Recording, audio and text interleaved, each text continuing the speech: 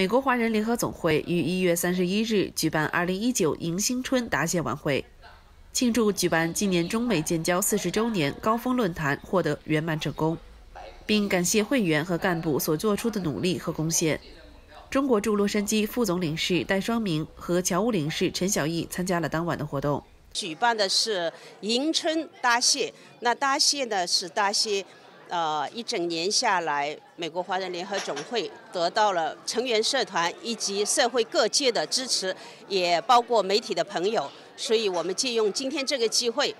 啊，答谢各界对美华总的支持，以及特别鸣谢答谢在十九日，呃，十一月十九日，美国华人联合总会举办的，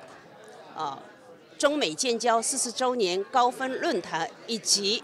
呃，庆典的这个盛大的活动，呃，做得非常成功，也得到了各界的好评。戴双明勉励美华总在新一年继续努力，让会务工作可持续发展。当晚的活动由美华总常务理事长邵文主持。在中国农历新年快要来临之际，美华总啊，呃，在半岛酒店举行答谢晚宴，感谢美华总成员社团。感谢社会各界，感谢媒体对美华总呃活动的大力支持。呃，同时呢，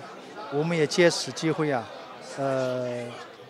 邀请了美华总的社团的侨领、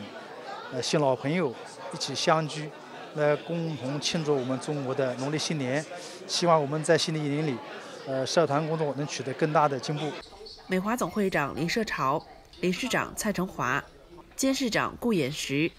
戴双明副总领事以及纪念中美建交四十周年高峰论坛活动各组负责人先后致辞。戴双明副总领事在致辞中表示，